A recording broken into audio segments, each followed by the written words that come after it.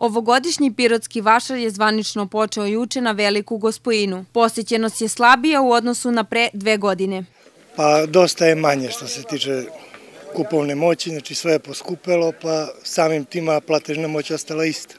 Tako da se tu osjeća po domi, znači posećenost ovako nije loša, imaju ljudi volju da dođu, da, da prođu, ali prodaja je slabija u svakom slučaju.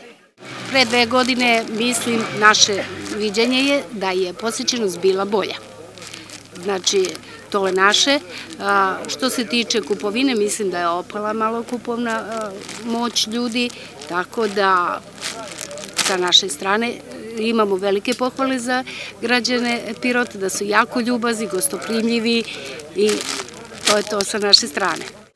Pa osetila se razlika, posvećenost je manja, manje ima i prodavaca, dve godine veliko razdoblje, tako da, ali radilo se, ali nije baš kao što je bilo.